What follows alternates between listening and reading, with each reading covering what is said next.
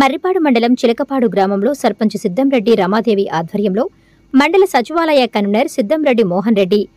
చిలకపాడు గ్రామంలోని ముప్పై ఐదు కుటుంబాల పేద ముస్లిం సోదరులకు రంజాన్ పర్వదినం సందర్భంగా రంజాన్ తోఫాను పంపిణీ చేశారు.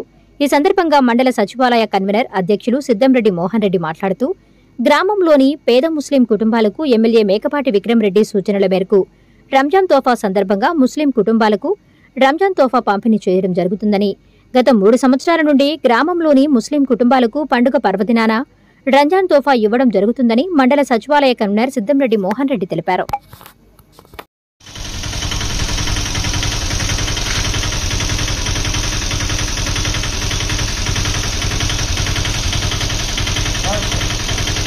రామర్లే.